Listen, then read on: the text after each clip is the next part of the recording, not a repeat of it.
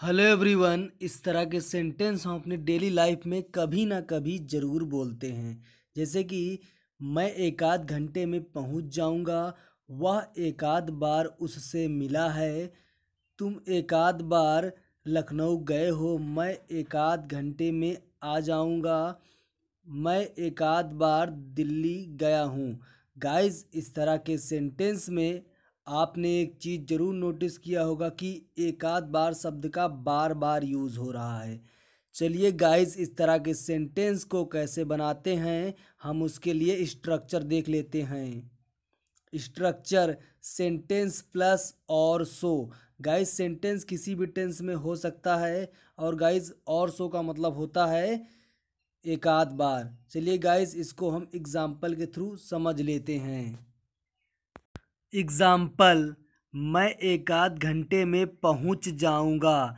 I will reach in an hour और सो चलिए guys next example देख लेते हैं।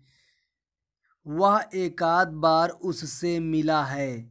He has met her once और सो चलिए गाइज़ नेक्स्ट एग्ज़ाम्पल देख लेते हैं। तुम एक आध बार लखनऊ गए हो। You have gone to Lucknow और सो चलिए गाइज़ नेक्स्ट एग्ज़ाम्पल देख लेते हैं। मैं एक आध घंटे में आ जाऊँगा। I will come in an hour और सो चलिए गाइज़ नेक्स्ट एग्ज़ाम्पल देख लेते हैं। मैं एक आध बार दिल्ली गया हूँ। I have been to Delhi once और सो चलिए गाइस कुछ एग्ज़ाम्पल अपने आप बनाकर कमेंट बॉक्स में लिखिएगा।